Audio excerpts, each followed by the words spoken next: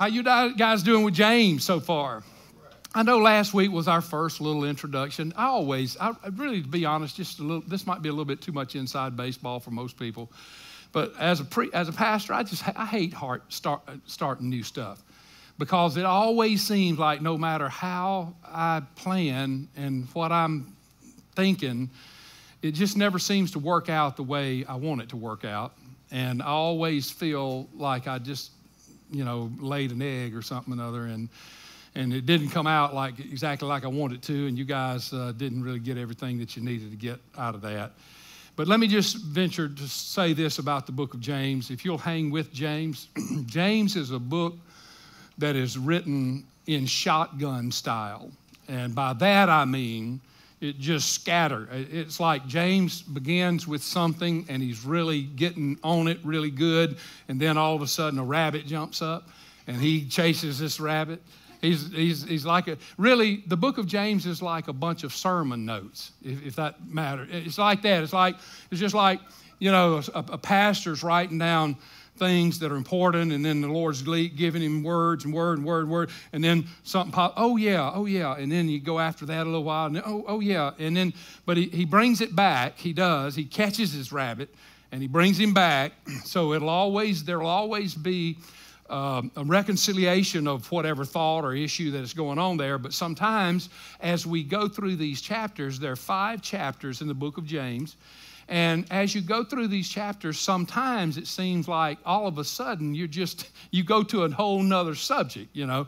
And um, so I'm going to try to do my best to uh, to help us navigate this and um, and get us through, because I'm going to tell you that really uh, the honest truth about some theology. Um, you have to have some theology to to stabilize your life.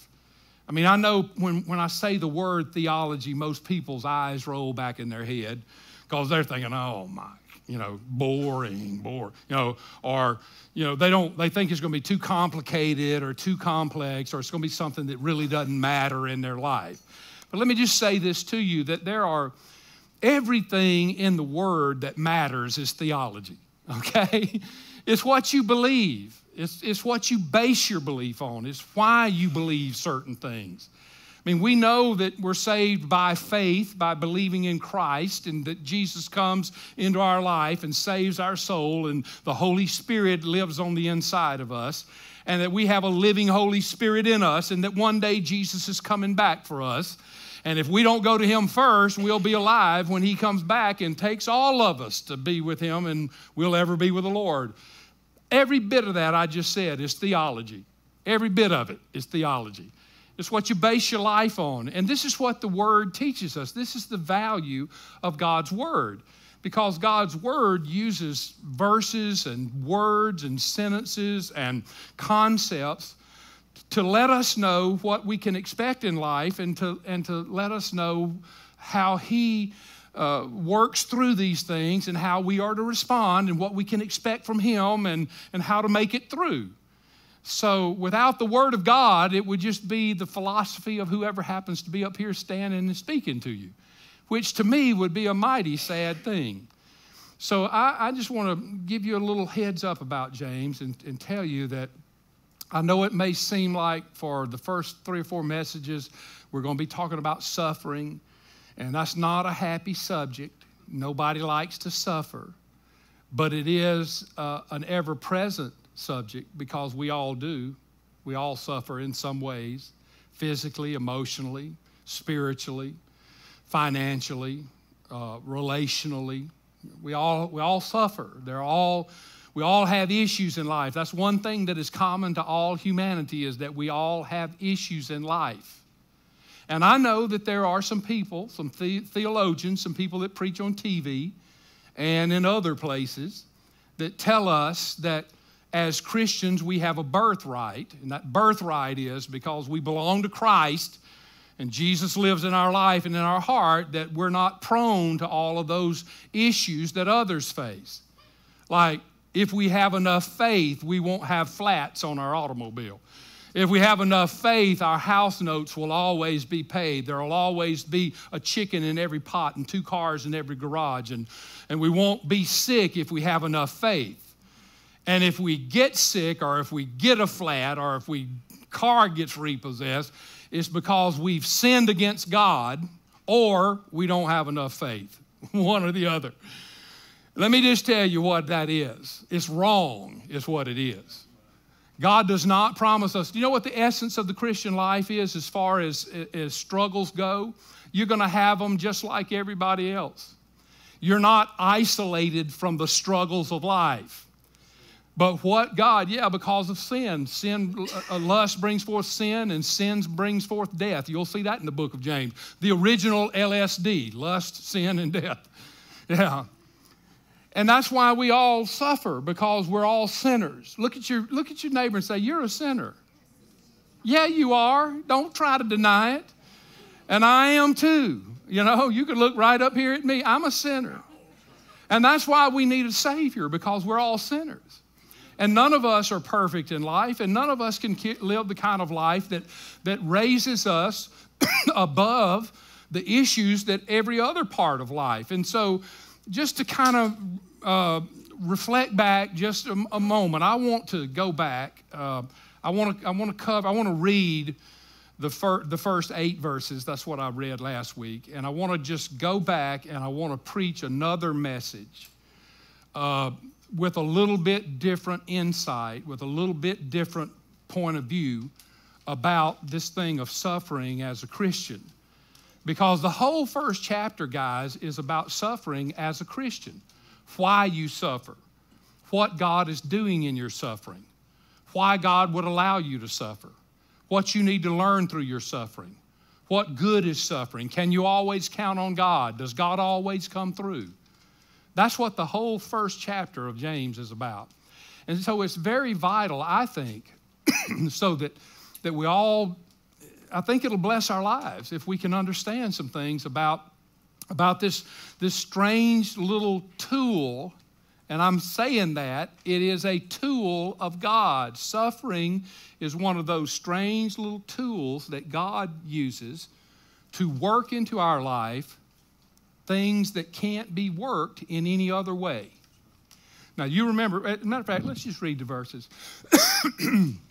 Here are the verses, beginning of verse 2. You know, the first verse, James, bondservant of God and of the Lord Jesus Christ, to the 12 tribes that are scattered abroad, greetings. That's the first verse. He's writing to the 12 tribes. And, and he really needed to because just think about this. In the day that James was writing, the Romans were in charge the Romans were people who believed that their Caesar was the Lord. And so the Roman citizenry, when the Roman citizens would, would meet each other on the sidewalk, here's what they would say Caesar's Lord, Caesar's Lord, Caesar's Lord, Caesar's Lord. That, that was their greet, greeting when they greeted each other. Well, of course, obviously, when these Jewish believers became Christians, now they had a double whammy. They were Jews, so they were hated anyway by the Romans because they had another God and blah, blah, and they wouldn't say Caesar is Lord. And, but when they became Christians, now they were really alienated from the Romans because instead of saying Caesar is Lord, the Christians would say Jesus is Lord. Jesus is Lord. Jesus is Lord.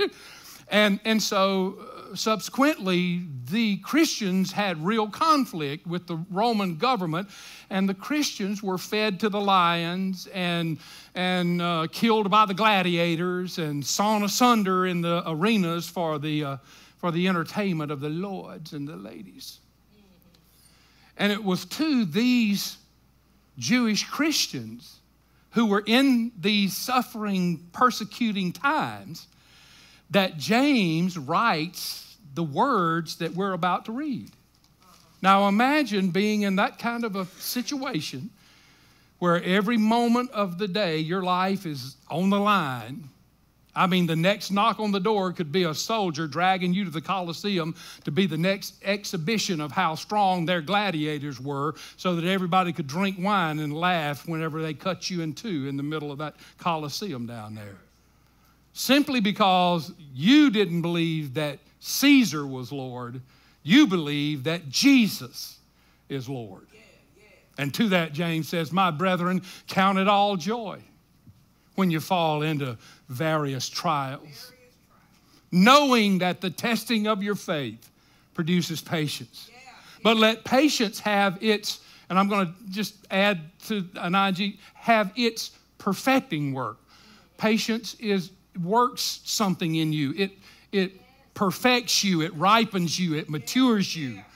Patience has a work to do inside of you, but let patience have its perfecting work that you may be perfect and complete, lacking nothing. If any of you lacks wisdom, let him ask of God, who gives to all liberally and without reproach, and it will be given to him. In other words, when you go to God and say, God, I don't understand my suffering, God says, Well, let me lay it out before you. God doesn't look at you and say, You dummy, why don't you understand this? You're so you you're so slow. You never get anything. Why don't you understand all? No, God is not going to reproach you. God understands you, God loves you, and God will answer this without thinking that you're some kind of dummy. That's what James says. Ask Him if you need wisdom about what you're going through and why you're going through it and how you can make it through it and what is it going to do. Ask God. He wants to tell you. God, it, it's God's nature to give, folks. It's God's nature to give, just like it's the nature of light to produce light, and just like it's the nature of, of fire to produce heat, it's the nature of God to give.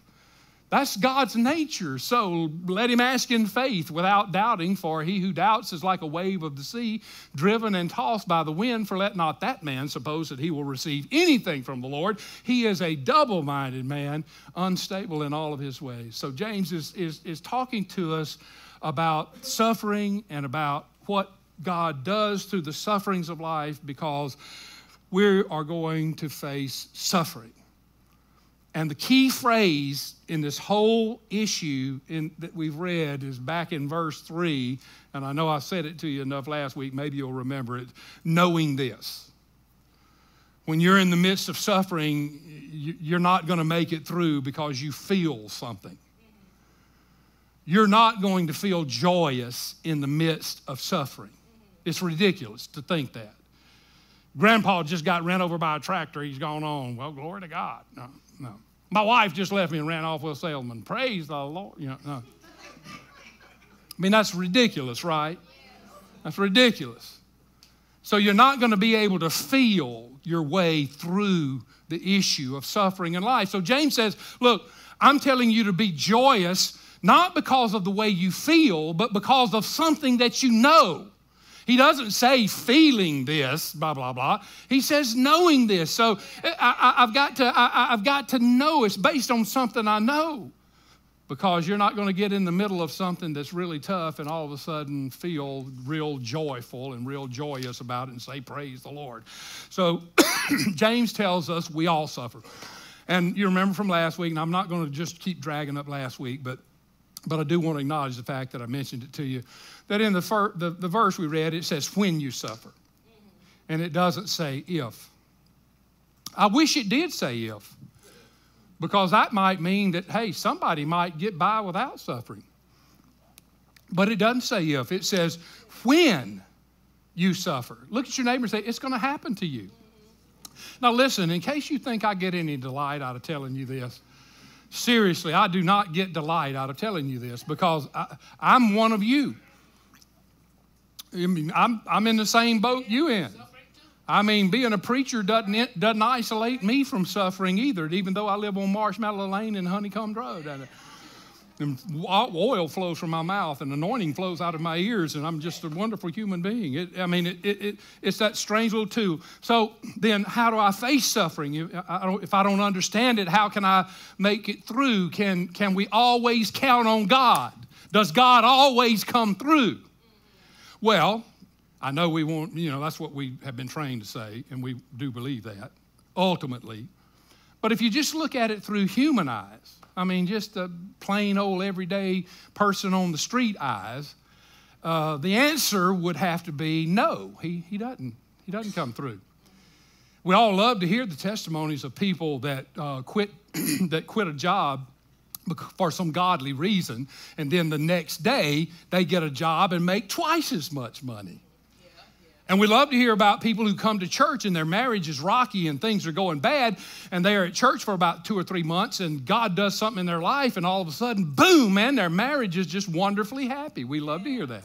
We love to hear how somebody started tithing, and the next day they got a big raise on the job. But what we don't hear about very often are those that start tithing and get fired the next day and have to work three jobs to try to pay the power bill. Or the, or the marriage that didn't get put back together again. Or the deal that didn't work out. And so, just looking at life right on the surface level, we would have to conclude that sometimes God just doesn't seem to come through. I mean, we love the great testimonies of putting life back together and having wonderful life and getting new people and just being great. We all love to hear the testimonies of that stuff, but it doesn't happen every time, does it? As a matter of fact, you know what I've found in reading the scripture? God seldom specializes in the last minute rescue. All right, all right. I mean, really think about it. God didn't rescue Daniel from the lion's den. no. He went right on through. God didn't rescue the three Hebrew boys, Shadrach, Meshach, and Abednego, from the fiery furnace. No, they went right on through. He didn't rescue Paul from prison. He spent three and a half years, then got his head cut off. He didn't rescue John the Baptist from prison. Salome did the dance and requested the head of John the Baptist on a silver platter, and she got it. He didn't rescue John, the great apostle, on the Isle of Patmos that was banished there because of his, nothing else but his simple love for Jesus. That's all it was. John just loved Jesus and got banished to the Isle of Patmos and lived there and died there on the Isle of Patmos. God didn't rescue. Why? Why God even stood by when this crazy world took his only begotten son and took him down and strapped him to a rock and beat him to a pulp and then took him and put him on a cross and drove nails through his hands and feet and hung him up in front of everybody and spat on him and mocked him and ridiculed him and then stuck a spear in his side and, and, and, and laughed at God. And God just turned his head, walked right on by, did nothing about it. So, how do we handle it then? How do we deal with it as his children? When it seems like God doesn't come through for us. Well, I got seven suggestions for you. You, you ready for them? number one. Let me see if I got it up here as number one. I sure do. remember when God when it seems that God doesn't come through for you, remember the proven dependability of his love. All right, I'm gonna give you just a second to write down the word in the blank. When it seems that God doesn't come through to you for you, remember the proven dependability of his love. I'm just saying to you simply, remember the times when he did come through. I'm saying focus on the good things that God has done for you. When it seems like that whatever the latest thing is and it just didn't work out and it didn't come through, think of the things that God has done for you in the past where every single one of those things testified to you. He does know me, He does care about me, He does love me. Andraé Crouch, y'all, listen, I, I used to do a lot of singing. I did, and, and uh, thank goodness I don't have to do a lot of singing anymore. We have some real singers. But if Buddy's watching online, he can testify because he, sang, he and I both sang this song so many times, I can't even tell you how many times, hundreds of times probably. It was, it was written by a guy that's gone on to be with the Lord now. His name's Andraé Crouch. And it started like, it started like, maybe you'll remember, how can I say thanks? For the things he has done for me, things so undeserved. Yet he did to prove his love for me. The voices of a million angels could not express my gratitude. Yeah, all that I am and ever hope to be. I owe it all to thee. Then he sings, To God be the glory, to God be the glory, to God be the glory for the things he has done. Listen to this. With his blood he has saved me. With his power he has raised me. To God be the glory for the things he has done. How about that? I'm not talking about how about the song. I'm not talking about how about the song. I'm talking about how about the thought of that song, is what I'm saying. I'm saying, how can I say thanks for And what about this one, you hymnal folks? When upon life's billows you are tempest tossed, and you are discouraged, thinking all is lost. Count your many blessings, angels will attend, help and comfort give you to your journey's end. Count your blessings, name them one by one. Count your blessings, see what God has done. Count your blessings, name them one by one. Count your many blessings, see what God has done. So amid the conflict, never mind. that is what I'm talking about. I'm just saying that if you will remember, I believe that there will be some times that come to you where God definitely did show up he did handle an issue. He did save you from some peril. He did work in your life. He did do the things that said to you, I love you and I haven't forgotten you and you are special to me and you unique to me. And God loves us. God died for us. Jesus came and gave himself for us. That is the ultimate proof of all time that God loves us. So when things don't seemingly go my way, like I think they ought to go, don't get angry and upset about. Remember the proven dependability of God's love. Let me, let me tell you one, one little story. John Bisagno, and y'all don't even know John Bisagno. He is pastor emeritus of First Baptist Church in Houston. He's probably, I don't know how old John Bisagno is now. Um, he, not even sure that he may still be alive. But back when he was early young preacher, he was in evangelism. And so I listened to him preach a lot. I like him, and he was great. And he, showed, he, he told a story one time, and I'll never forget what he said. He said when he was preaching a revival in California, he had three, like three revivals in a row. So that means like three weeks in a row. His family lived in Colorado, and he was going to be gone three weeks in a row. So it, it, it just seemed to work out that on one, at the end of this particular meeting in Los Angeles, if he could catch the plane on time, that he could fly and he could, stay, he could be in Colorado for a few hours at home with his wife and family before he had to go to Memphis. And so, man, as soon as the meeting was over on Friday night, and I know exactly how he feels, I've been there before. And, you know, any of you guys that have been away from home very long, man, I mean, it's like a magnet at the house pulling you, you know. And, and the further you are away, the stronger the magnet is. It's amazing. But anyway, the, the he jumped in. The deacon, you know, pulled his car around. He jumped in. They went to the airport, and ju- he said, just as we got to the airport, he said the plane was was backing away or was moving away from the loading chute. You know, about 30 seconds, a, a minute earlier, and he would have been on that plane and, and going. And he said that they turned around, and went back to the hotel. He said, when I got back to the hotel got in my room by myself, he said, I began to give God a piece of my mind about how much I had been mistreated and how much I had sacrificed for him and how much I had done. And look what I'm doing, and I'm giving my life for you. And looks like you could make one arrangement for me, God. Look, looks like you could hold a plane about 30 seconds for you. And anyway, he said he went to bed and, and, he said woke up in the morning and he said he went down to the hotel lobby and they had a little some little cereal something and he started eating a little breakfast and he picked up a newspaper. This tells you how long ago that was. Picked up a newspaper. and a headline in the newspaper uh, was, was reporting a crash between a United Airlines uh, passenger uh, plane and a Continental jet over the Grand Canyon, and everybody was killed. And it was the worst natural plane disaster uh, in our country at that particular time. Needless to say, breakfast ceased. John said, I got on my face before God.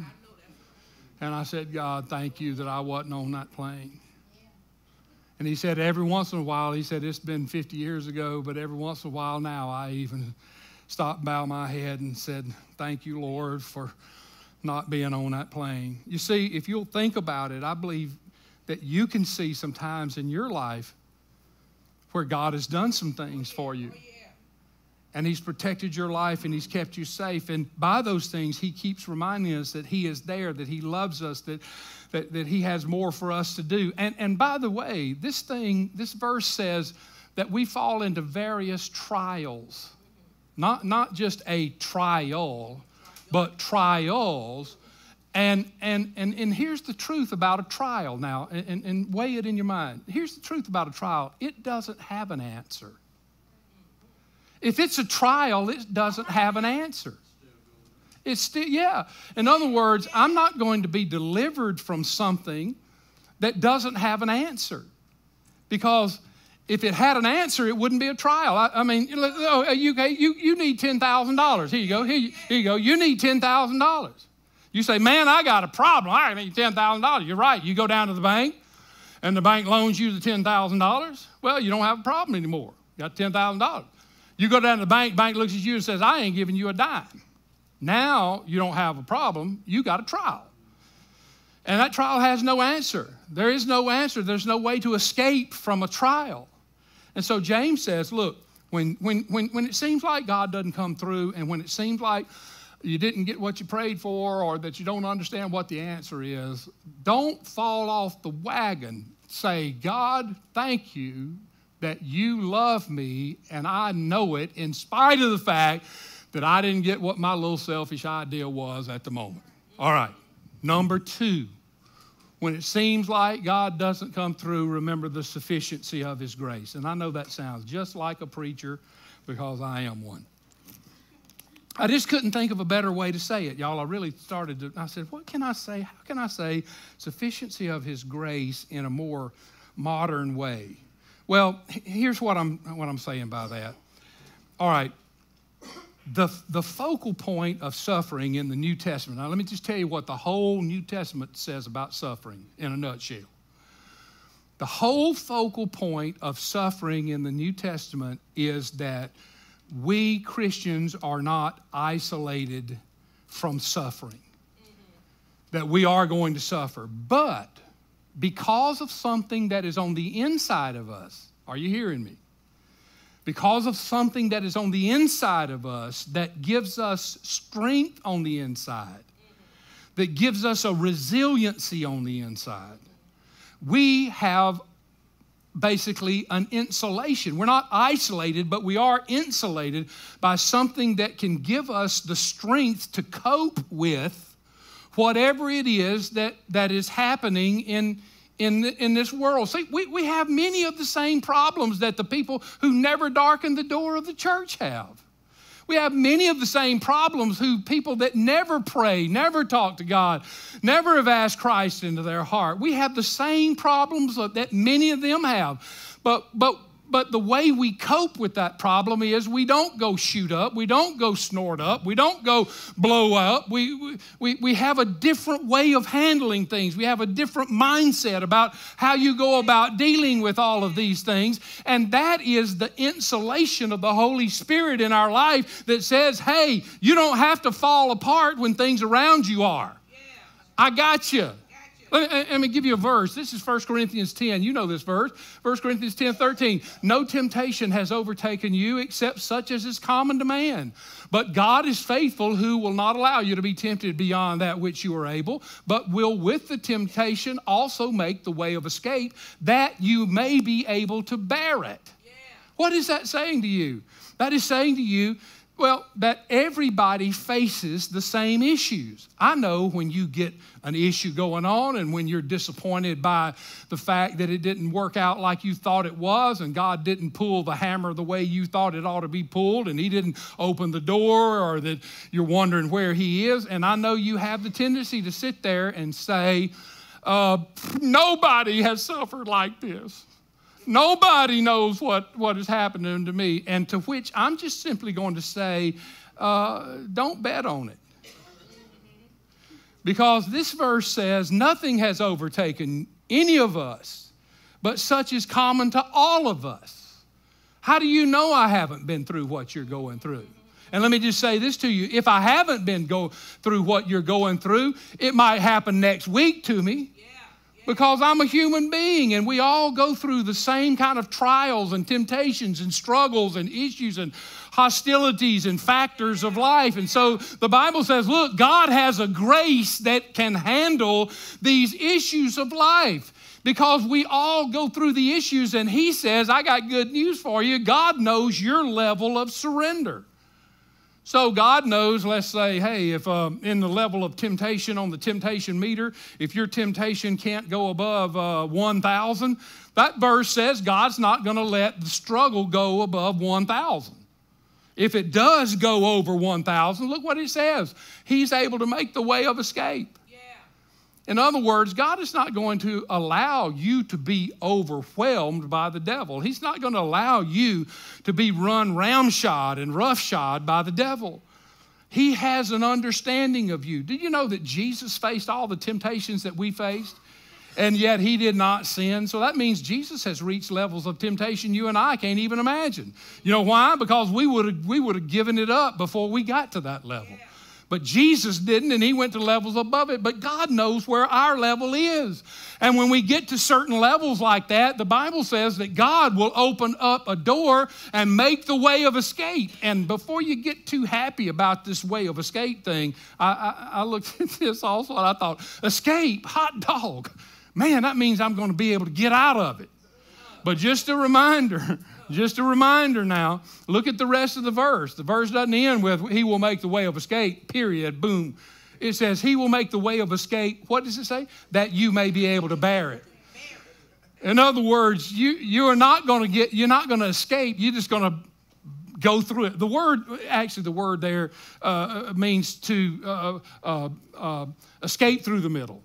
It means, it means just you, are going to escape, but you're going to have to keep on walking through it. You're not going to just magically disappear out of it. It means God's going to take you through the middle of that thing. So, what I'm saying is, when things get to be tough, remember that God loves you and He has shown you that so many times and done so many things in your life that you ought to, that, that if you really think about it, you'll, you'd be ashamed to say, God, you didn't come through for me. Remember when He did come through. Remember what He's done for you. And then remember that His grace is going to do something on the inside of you that's going to allow you to make it through the middle in spite of the fact that everything else around you is just blowing to pieces. All right, let me give you another one. All right. Can we handle another one?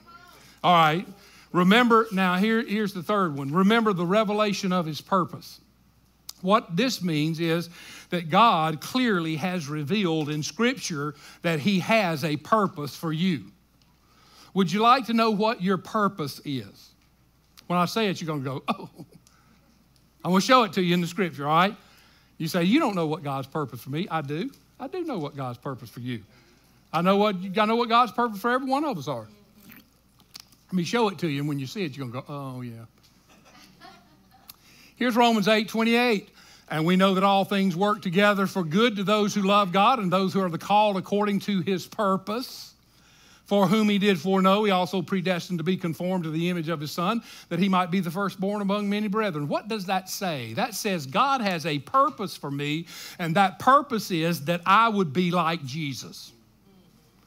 So, you know what God does, and I said this last week, and I'm not going to bore you with saying it again because I've said it to you, and all of you that have been in class have heard this kind of thing before. But I just want to remind you that what God does in every one of our lives is He starts where we are. Look at your neighbor and says, He starts where you are. Okay, like me, um, maybe I'm a nice person, or maybe I'm not prejudiced, or maybe I'm not self centered, or whatever. Well, God looks at me and sees the things in me that are not like Jesus, and He begins to shape me. All right, He looks at you, and you are selfish, and you are prejudiced, and you do have a, well, of course, He's going to start where you are, shape, knocking off the stuff that's not like Jesus. So some of us have further to go, some have harder things, but the point being that no matter where you are, when God starts chipping on you, it hurts. Oh, and God keeps chipping on us all the way through our life until He takes us home with Him in heaven. Because I know, in spite of what some people say, you are not perfect. And you are not going to be perfect on this side of heaven. But it doesn't mean God's not going to quit chipping on you because He's trying to create you like Jesus mm-hmm. all the way through your life and whatever it is you display, whatever attitudes, whatever uh, uh, carnalities and issues, and whatever it is you want to call them, as you, be, you begin to display that are not like Jesus, then God begins to chip those things away. And, and, and, and so that's why I think we can rejoice in, in the trial because we know something. What do we know? We know that when God is chipping me and when God is dinging me, when I'm hurting like that, I know something. You know what I know? I'm becoming more like Jesus. I'm becoming a more capable person. I'm becoming more reflective of the glory of God in my life. God is working His purpose in my life. Okay, so number one, the dependability of His love, the sufficiency of His grace, the revelation of His purpose. Let me give you this. Remember the delight of His person. The delight of his person, I know that sounds just like a preacher, but again, I repeat, I am one. And I don't know how to say that. That's just a, romantic way of saying uh, we need to learn how to rejoice more in who Jesus is than in what he does. That's just the way of saying it. Most of us blow hot and cold spiritually based on what God's doing in our life.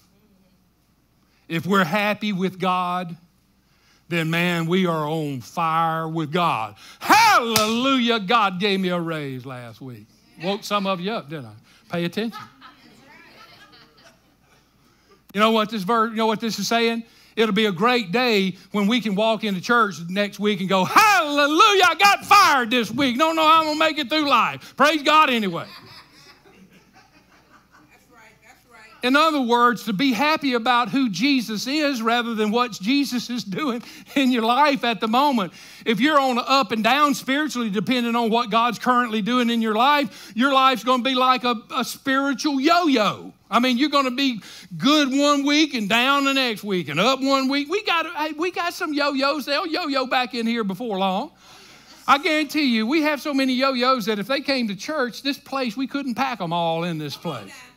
Why? Because whenever God's working for them, they're here. When God's not working for them, they're not here.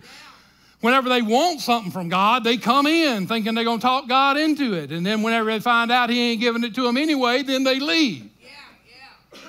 That, man, that, that, that, that's never going to produce stability and a solid life for you. You're going to be going up and down, up and down all the time. I mean, that, that's not what God. Let me show you this verse right here. Let me just show you, and then we'll, we'll move on to the next one. All right, Luke 10 20. Nevertheless, this is Jesus. He's, he's, had, he's had 72 of his disciples that have been sent out to witness to the world. They're all beginning to come back now. And Jesus says to them, Nevertheless, and they're all happy. They're all fired up. They say, Man, Jesus, the demons are obeying us. The demons, we're casting out demons. Man, it's exciting. It's wonderful. Look at what Jesus says. Nevertheless, don't rejoice in this, that the spirits are subject to you, but rather rejoice because your names are written in heaven. In other words, you know what Jesus is saying? Jesus is saying, look, don't get happy about things that are temporary. Get excited about things that are eternal. You know why? Because there's going to come a day when these demons are not going to obey you. Yeah. There's going to come a day when you say, Get out, demon, and the demon's going to say, Man, get away from me. Yeah. So you can't rejoice over temporary things over things that don't have any value. He said, Look, re- rejoice because I'm yours. Rejoice because you're mine. Rejoice because your name's written in the Lamb Book of Life. Rejoice because you're going to heaven when you die. Rejoice because the blood of Jesus is washing you clean. Rejoice because you have a relationship with me. Rejoice that nothing can separate you from my love. Rejoice over, over, over the delight of Jesus. I'm just saying to you, man, when things start crumbling in your life, you got to rejoice. And what is it you're going to rejoice over? You're going to rejoice on the fact that things are crumbling in your life? What, are you, uh, we need to take you down to Memorial Behavioral down here or something or other? No, man, you're going to have to focus on something else. On the fact that God loves you and has always proven He loves you, that His grace is on the inside of you and is sustaining you, and you can cope without pulling the trigger or drinking the bottle or whatever it might be. He's given you other mechanisms to cope. His grace is sufficient for all of that stuff and we're rejoicing over his person, who he is, who Jesus is, and the fact that he's accomplishing his purpose in my life. When it seems he doesn't come through, which is going to seem that a, lot of times. Now, I'm telling you, I'm just warning you. It's going to seem that a lot of times because we're so blooming temporary.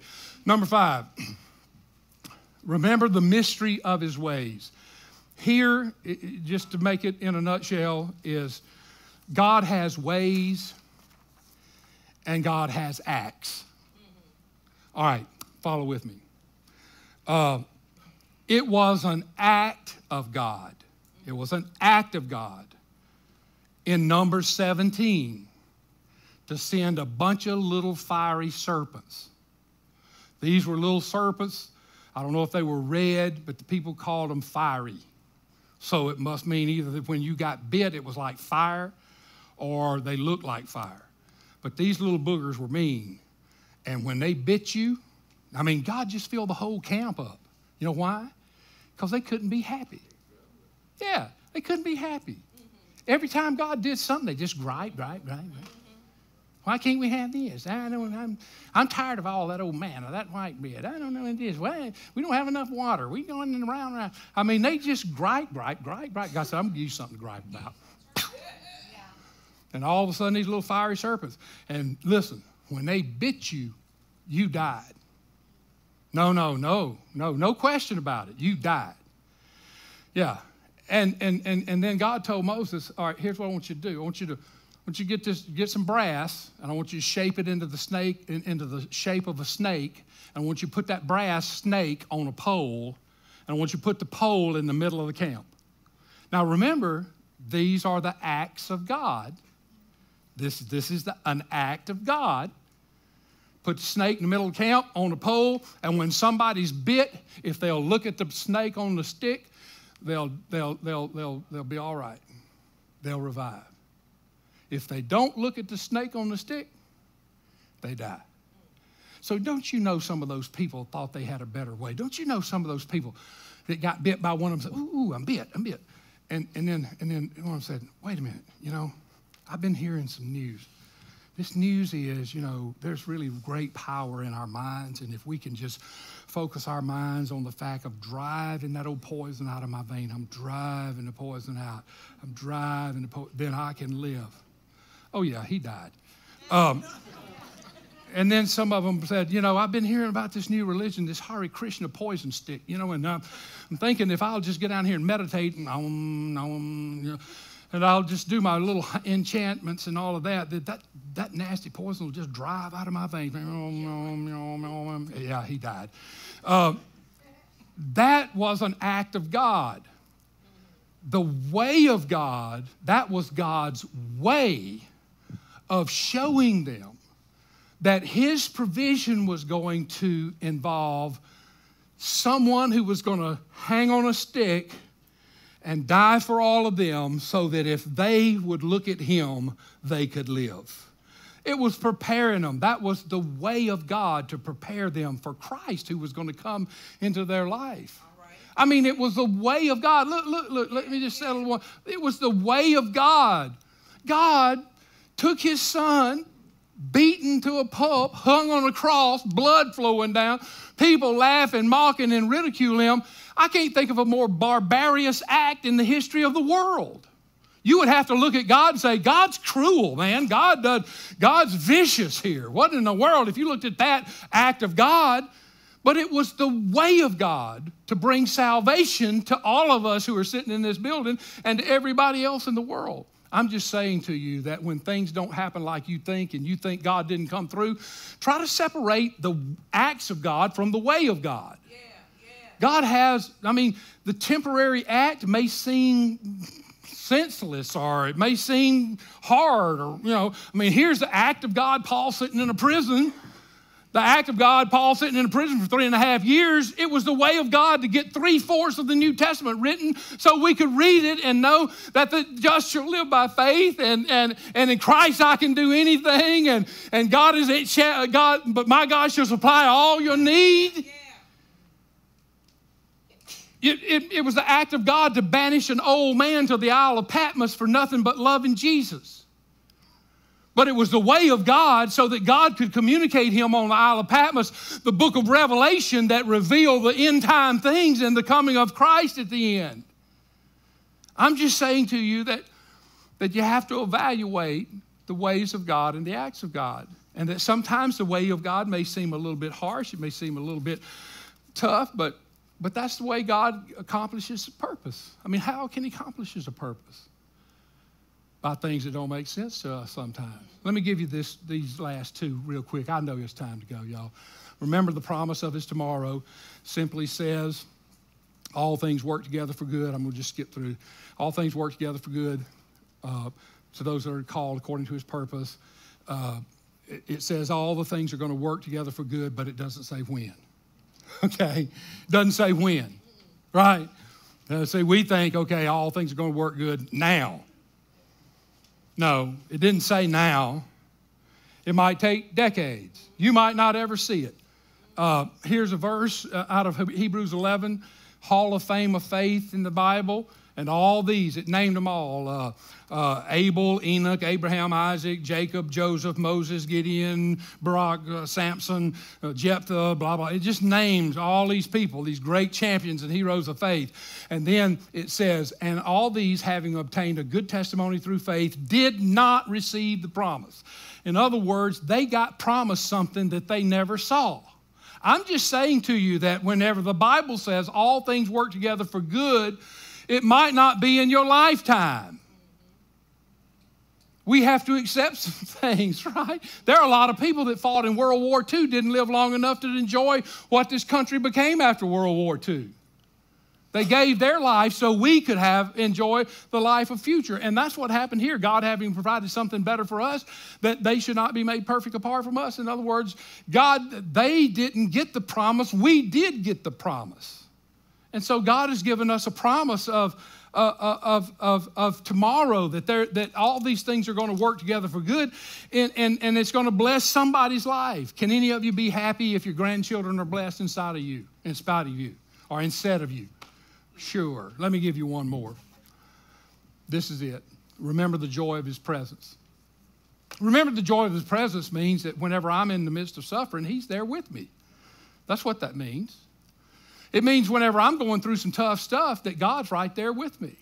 That I experience something about God when I'm going through tough stuff that I don't get at, at any other times. Have you ever heard anybody give a testimony about this terrible time in their life? There was so much heartbreak, heartbreak, tough, bad times, all that. And then at the end of that testimony, they said, But I tell you, man, it was worth it all.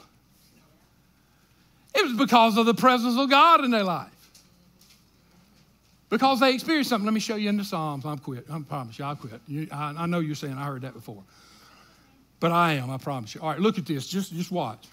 All right, here's David, Psalms 23. David's having a great day. David's just talking.